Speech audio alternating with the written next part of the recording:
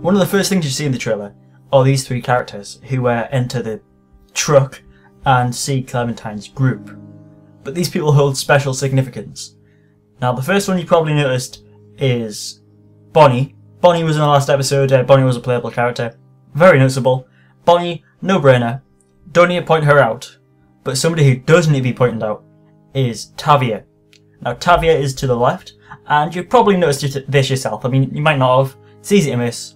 Um, but I'll put a reference shot up just just in case you uh, don't believe it. It is Tavia, and uh, Tavia was basically a character in 400 Days. And she wasn't a playable character, she was the character who said, come with me to uh, my camp and we'll be free.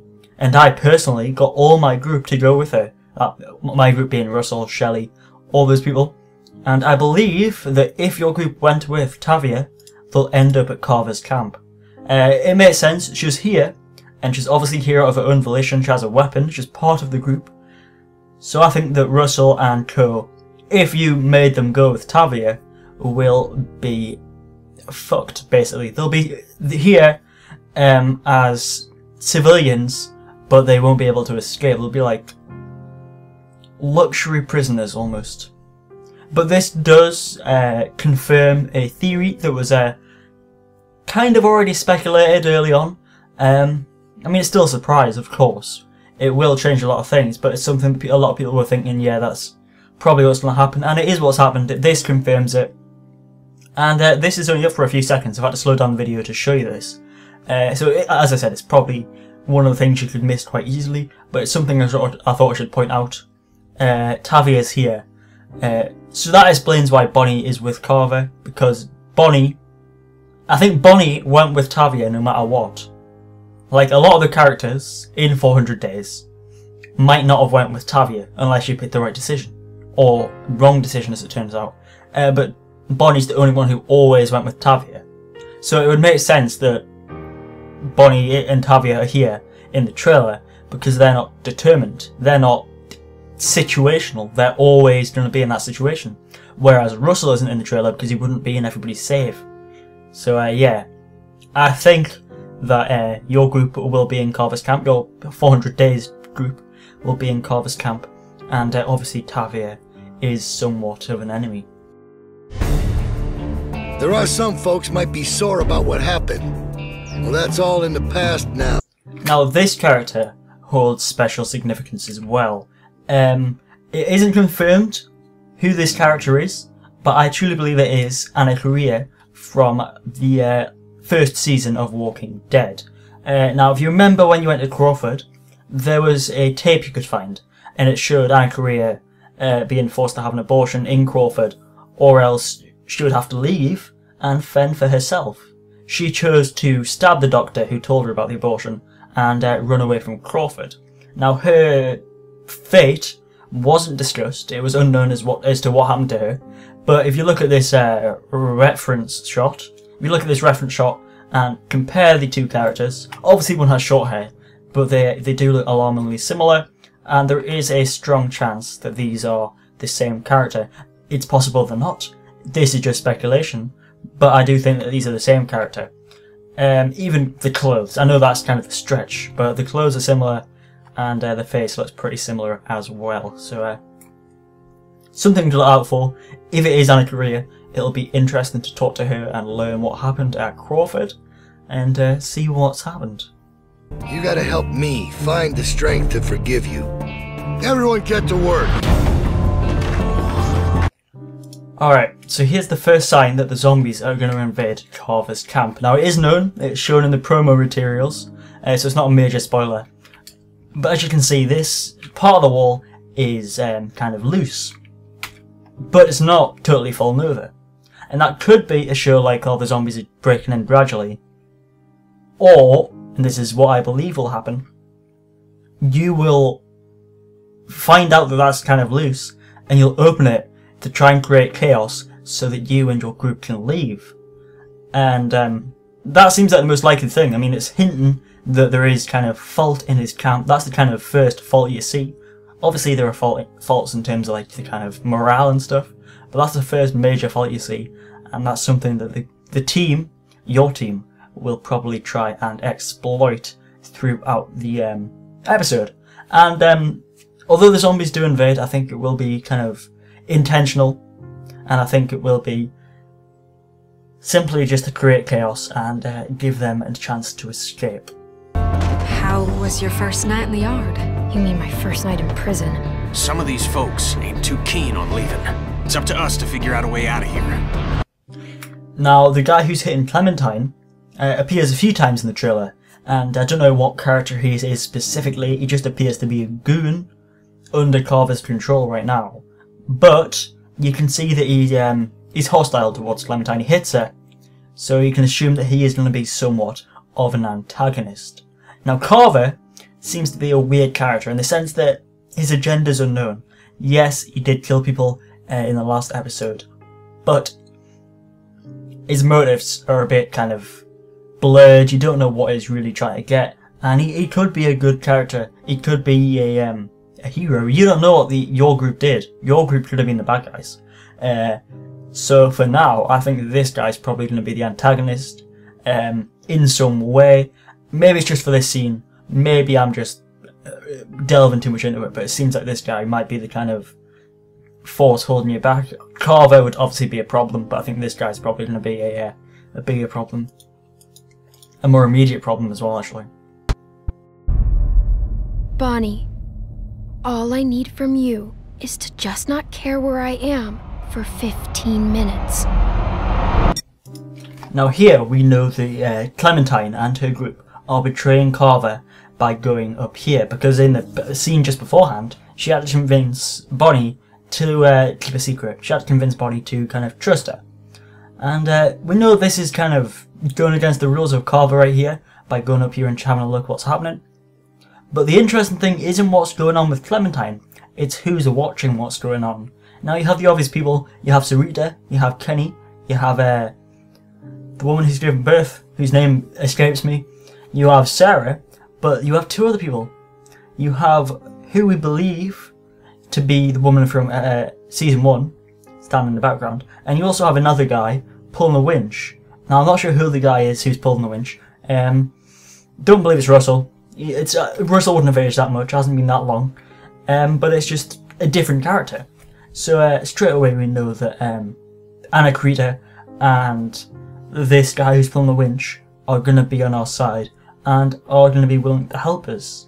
Whether that's a default thing, whether that happens whatever your choices, or whether that's based on your choices, is unknown at the moment. Maybe it depends on what kind of ch- choices you choose in terms of dialogue, and um, maybe the better you are with your speech kind of choices, the more people who trust you, the more people who join you. So maybe Bonnie can help you if you say the right thing. That would seem likely. That would make good use of Telltale's speech features. And uh, yeah, I think that would be the way to go. Whether they do that or not is a different matter. Uh, I guess we'll just see how it goes when it's out. But uh, right now, we know for a fact that these two people, Anna and the uh, black gentleman, are two people who can help you depending on uh, what the situation is in the actual game. There are possibilities right now. But uh, it's good to know good to know that we can at least get some help from uh, some of Carver's gang. Bear in mind, bear in mind that um, they will also know some of the people who came from this group. So uh, they'll know Alvin, and they'll have relationships with Alvin already. So maybe it's based on that basis, you know? Maybe it's based on uh, Alvin and Nick and all them getting friends to help all depends, all depends on how Telltale themselves set out the situation. But right now, what you should probably be uh, thinking is, where's Alvin? Where's Nick? Where's Carlos? Because that's what I'm wondering. And the answer isn't given to us. Do they die? Are they put in a different group? Are they confined? Do they betray us? Well, I guess we'll have to wait until the re release date. A lot of questions are brought up there are some answers, for sure there are some answers, but there are also a hell of a lot more questions.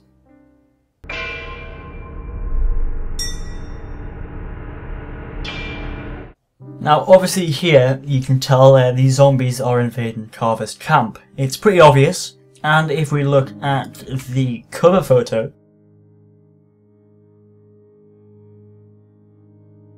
for this episode, yeah, Telltale's kind of image they use on Facebook and their kind of poster, um, you can tell that the zombies have overrun the camp. I mean, I knew this from quite a long time ago. It's obvious on the little covered photo that, that that's Carver's camp.